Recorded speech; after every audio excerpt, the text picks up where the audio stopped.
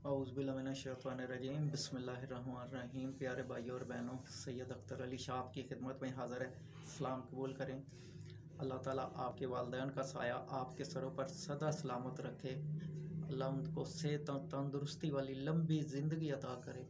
जिनके वालदेन फौत हो चुके हैं, अल्लाह ताला उनको जन्नतफरदौस में अला मुकाम अता करे। उनकी बख्शत फरमाए, आमीन। अल्लाह ताला आपको, आपके बीवी बच्चों को, आपके बहन भाइयों को, आपके अज़ीज़, अकारब को, आपके दोस्तों को लंबी से तंदरुस्ती वाली ज़िंदगी अता करे। तो अल्लाह ताला आपके कारोबार में बरकत फरमाए। अल्लाह ताला आपके कारोबार को वसी तर वसी करे। अल्लाह ताला आपको किसी का मोहताज ना करे अपने सिवा। और जिनकी औलाद नहीं है, अल्लाह ताला उनको नेक और साल औलाद अता करे। और, जो भी किसी को मुश्किल में पेश आई है या कोई किसी, कोई बीमार है, अल्लाह ताला उनको शफा दे। सब की मुश्किल माल हल करे, अल्लाह ताला अपने ख़जाने से सबको दे। तो जो मेरे बहन भाई मुल्क से बाहर हैं, अल्लाह ताला उनकी हिफाजत फरमाए, खैर से गए हैं और खैर खरीत से अपने माँ बाप, अपने बीवी बच्चों में वापस आएँ। अल्लाह ताला उनको ढेरों खुशियाँ नसीब करे। जहाँ भी रहें, मेरे बहन भाई सब खुश रहें। अल्लाह ताला आप सब की हफाजत फरमाए। तो आज मेरा उनवान है जी ज़िंदगी। ज़िंदगी जो है ना, वो अल्लाह ताला की दी हुई अमानत है, जो हमने वापस भी करनी है। तो ज़िंदगी क्या है? ज़िंदगी जब एक बच्चा पैदा होता है ना तो बचपन जो होता है ना, वो बहुत खूबसूरत होता है। बचपन बादशाही है। तो बचपन, पलक झपकते ही गुज़र जाता है, जवानी आती है। जवानी आती है तो फिर इंसान का खून गर्म होता है। वो कुछ कुछ भी नहीं सोचता, समझता। बिला वजह बिला वजह ही हर अपनी ज़िद करता है। अपनी ज़िद से हर बात अपने वालदेन को मनवाता है। अपने भाइयों को मनवाता है। यही कहता है कि मेरी मानो, मैं तुम, अब तुम्हारी नहीं मानूँगा। तो इस तरह फिर शादी होती है तो बीवी आती है, ज़िम्मेदारी बढ़ जाती है। तो ज़िम्मेदारी जब बढ़ती है तो फिर बीवी की माननी पड़ती है, क्योंकि कुछ लोग जो होते हैं, वो ज़्यादा मानते हैं, कुछ लोग जो होते हैं, वो अपनी मर्ज़ी करते हैं। तो फिर बच्चे आ जाते हैं। जब बच्चे आते हैं तो फिर इंसान लग जाता है बच्चों को पालने में। जब बच्चों को पालने में लग जाता है फिर उनकी पढ़ाई शुरू हो जाती है फिर उनके पढ़ाई जब ख़त्म होती है फिर उनकी शादी का वक़्त आ जाता है। तो इस तरह ये ज़िंदगी बहुत कुछ सिखाती है। इतने जो अभी तक मैंने बताया इस अर, इस अरसे में। तो इस इस अरसे में क्या सिखाती है कि बच्चों की खातर वालदेन की खातर तो इंसान कुछ भी नहीं करता।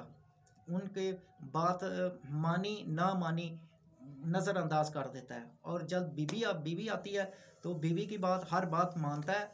जो भी चीज़ है, वो छुपा कर लाता है माँ बाप से, बीवी को देता है। तो ये भी एक बड़ी गलती है हमारी। तो तीसरी बात जो आती है कि हम नमाज़ से दूर हो जाते हैं। क्योंकि अल्लाह ताला ने हमें इबादत के लिए पैदा किया है। तो जिस तरफ़ हम, उसके इबादत की तरफ़ तो हम जाते ही नहीं।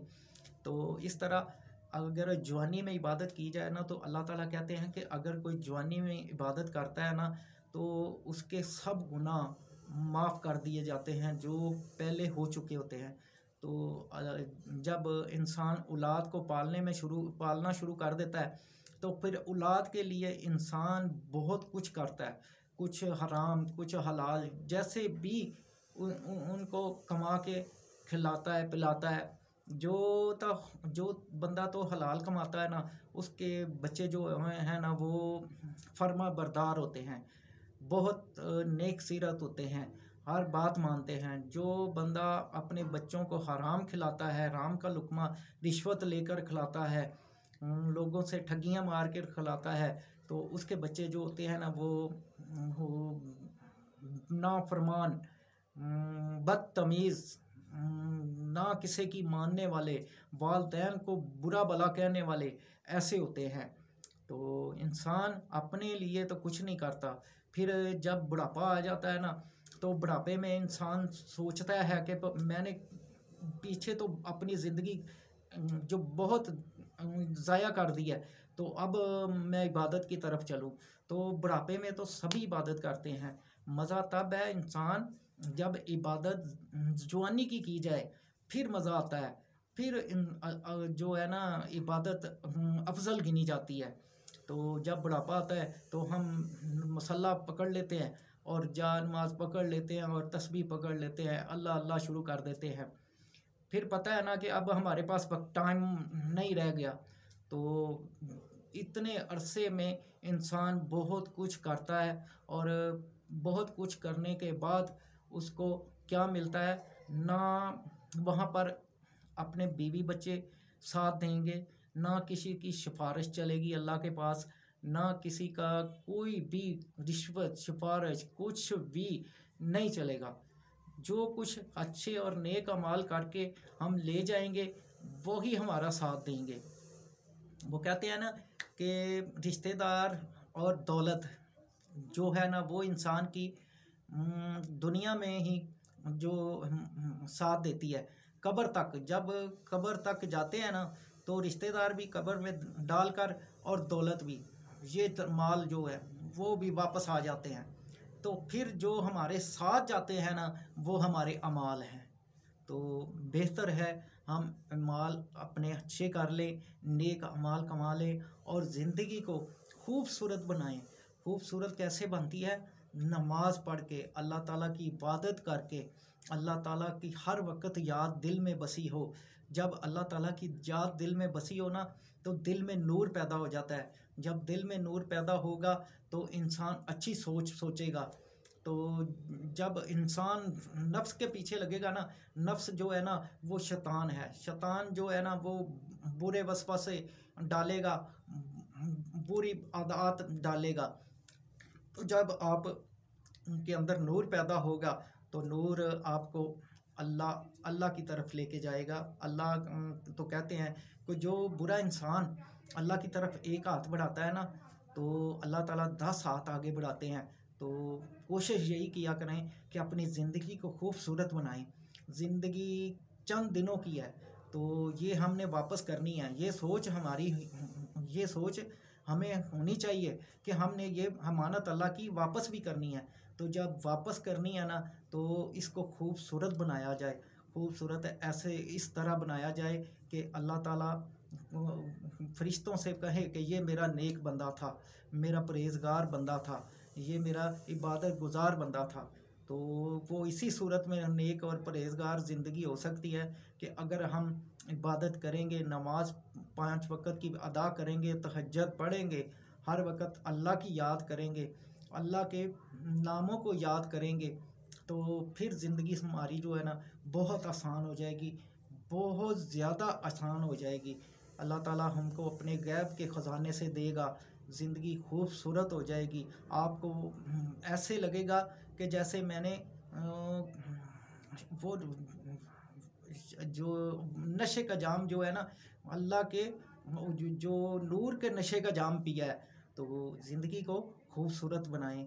अल्लाह को वापस करनी है तो खूबसूरत बनाकर वापस करें। जिस तरह अल्लाह ने जब आ, हम पैदा हुए हैं ना हमें बेगुनाह पैदा हुए हैं ना हमने कोई गुनाह नहीं किया होता उस वक़्त। तो जब हम अल्लाह को वापस करेंगे ना ज़िंदगी ये अपने रूह तो वो भी उस वक़्त पाक होनी चाहिए। इबादत कर कर के पाक होनी चाहिए। ये अलिया कराम जो वापस गए हैं, उन्होंने अल्लाह ताला की मेहनत की है, मेहनत और इबादत की है।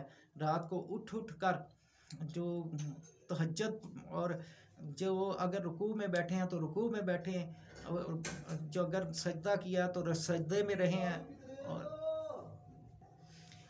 ज़िंदगी को खूबसूरत बनाएँ, ज़िंदगी को आसान बनाएँ, वो भी इबादत से। तो ज़िंदगी ये चंद दिनों की ज़िंदगी है इतनी सी ज़िंदगी है जब इंसान हम्म, आखिरी वक्त आता है ना पूरी ज़िंदगी उसके सामने चल जाती है कि ये तुमने किया था और इतनी सी तुम्हारी ज़िंदगी है तो इतनी ज़िंदगी में तुमने क्या किया क्या कमाया? तो हमें चाहिए कि अच्छे अमाल करके अच्छे नेक और किसी से बुरा मत करें अच्छे बुराई बुराई जो है ना किसी का दिल मत दुखाएँ बुराई को जड़ से ख़त्म करें तो यही हमारे मिशन होना चाहिए, यही हमारा काम होना चाहिए। तो अगर मेरी बात अच्छी लगी हो तो लाइक और शेयर लाजमी करें सब्सक्राइब भी करें मेरे चैनल को। फिर नई वीडियो के साथ, नए टॉपिक के साथ फिर दोबारा हाज़िर होंगे। तब तक के लिए सैयद अख्तर अली शाह को इजाज़त दें। अल्लाह हाफिज़।